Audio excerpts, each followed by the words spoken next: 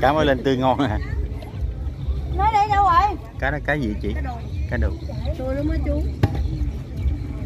Ra tới giờ hai kêu lấy ốc vào. Thôi mày bố bạn à đồ gì nổi giao tao hả cứ nổi ra nãy nó nói vô mua nó đi vô. Con bịch tôm đó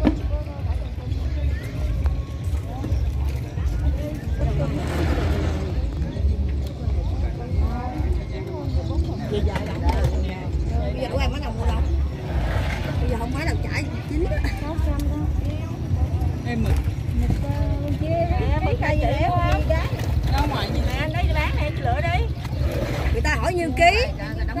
Mực bầu hả? Hai trăm ngàn. Đấy hả?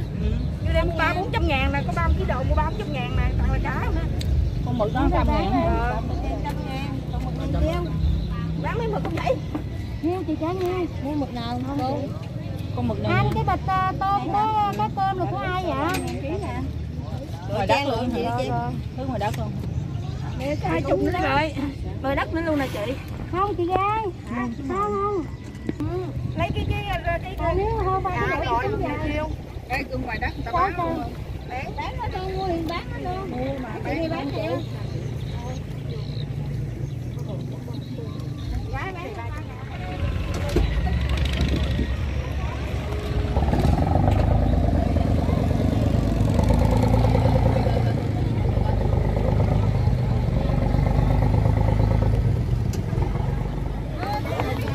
em mà đứng xích lên nó lợi có thế lợi nó đụng à. hả đứng đây có được được mà đứng trên nó đụng nữa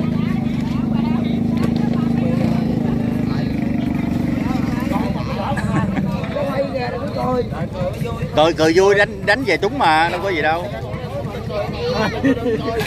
cười kéo không nổi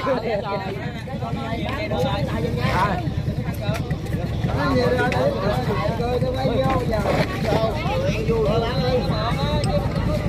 guốc, vậy là guốc sạch, guốc đẹp anh. Giờ thấy đắng tươi rồi, không có nhiều sâu ha.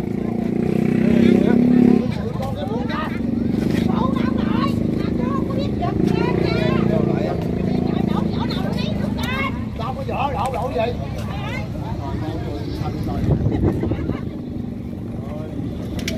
mấy bà đàn bà này mạnh ghê không? Kéo lên luôn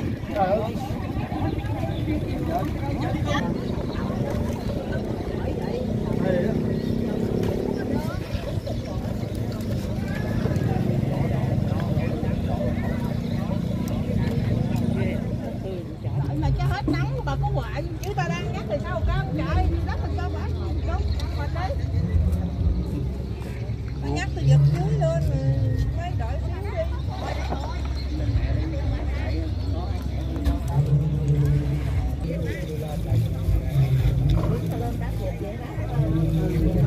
được ờ, người được ờ, bảy cái này mình bán nhiêu ký hả? Như cái này nè. Bán lẻ hay đem vô dựa.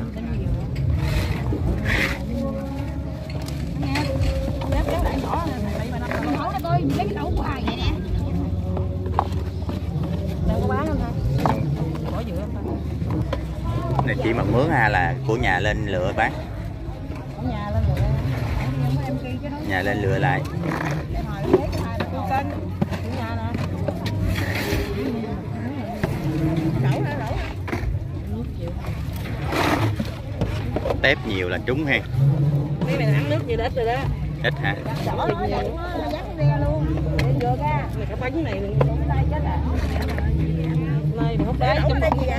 Lựa về bán ngon?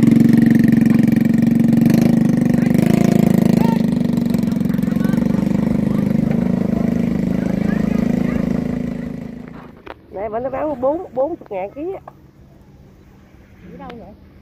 Dạ, con ở trên ờ, cái lậy á này chủ nhật đi tham quan hả? Dạ. Lụm vậy đó, cái sàn sạch sạch nó bốn, nãy thấy bán bán bốn chục ngàn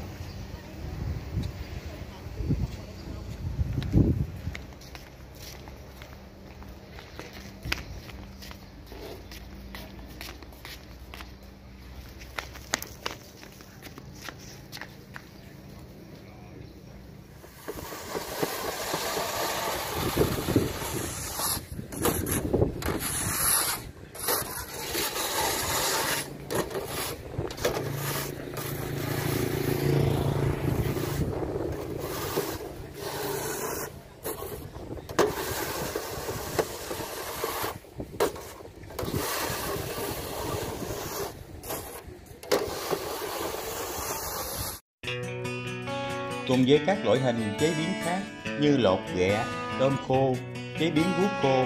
Ở thị trấn Giàm Láng thì nghề phơi cá khô truyền thống cũng góp phần đáng kể vào việc giải quyết công ăn việc làm, tạo thu nhập ổn định cho người dân. Kêu là khô gì? dạ thu cá lạc Mà không ướp gì trơn hả? dạ không cái này ờ, cá lạc mà Ờ, không cái này không ớt cái này chi giòn chấm me ngon lắm trời nhậu đi. Cái này nhẹ quá. đúng rồi một ký nó nhiều quá giờ ờ, phải Cái này là anh bằng thuê cho mấy bà đó hả? Bằng ngày hay gì? dạ một tháng Tháng à, 10 triệu hiến. dạ tháng được 10 triệu Cơm nước lau hết, lo hết. dạ Xẻ khô, phơi khô, dọn khô. làm một lần cá rồi Mực cá cũng như có cái gì ta làm nấy vậy ha. đúng rồi Cái cảng này là cảng cũ giờ chứ bây giờ chứ cảng mới hả anh?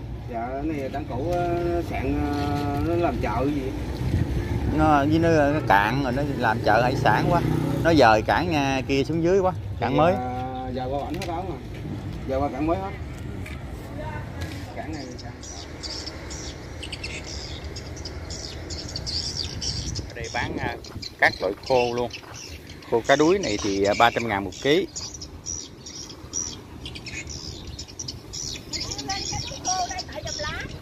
Ở đây à, đây cá đó nhiêu ký chị? Này kêu cá gì chứ? nè nè con kem xẻ trình xẻ. Ờ. Nó nhiêu ký? trăm hai ký à ký Trăm nhiều lắm. Này ngon lắm các bạn ơi, có dịp về Gò Công Đông mà ghé à, dựa khô. thắng lon. Thắng lon. nơi dầm láng. Ừ, người khô đây là bán à, tại gốc giá rẻ luôn, ờ. Chất lượng luôn. đây mình làm sẽ này lạc Sỉ lẻ cũng có, mua mấy tấn cũng có. á. ờ đúng rồi Mà Linh mới ghé bà mua bà làm hết mấy ký à. Cô thích ăn cái khô này lắm nè. Dễ ăn lắm, nó cùng nóng này dẻo dẻo ha. Đúng rồi, cái này ăn với xài xài băm á. Này là cá gì? chị đừng chơi béo tục Chưa ăn thử đó lưỡi trâu hả? Cá lưỡi trâu. Ủa, béo. Hồi nãy con mua con cá này nè. Nhưng mà con ăn con bự vậy nè, nãy bác cho lửa lấy nửa ký năm chục. không lửa, cái lưỡi trâu này ăn cũng được nè, ham mua thêm. lắm nè mua nửa ký này đi chị ngon lắm Nhiêu ký? Này hả? có trăm ngàn nè trăm ngàn à? Trăm ngàn ký hả? Lấy à, nửa ký lưỡi trâu được cái nửa ký nửa ký ăn thử đi. Lựa con lớn lớn cho bà. con này tặng mà. Thì hồi ta cân nó nhầm nó sao đó. Vô luôn chứ gì đâu. Ừ. Bự cho em đi. rồi rồi rồi rồi Con cá lưỡi tàu tươi này em cũng thích ăn mà em em không biết lột, em không biết lột lột da. mình lột hai bên á Chơi à, sang là lựa con bự bán luôn thấy không? Cái này là quá tình nghĩa luôn. trời ơi khách tới mà ai cũng phải bán, lấy tiền chứ Chị là chủ à, dừa khô đây hả? Em ở trên em trái cây. ở đâu lận cái lại nữa 50 ngàn một ký, à, nửa ký khô lưỡi trâu. Bán con nữa.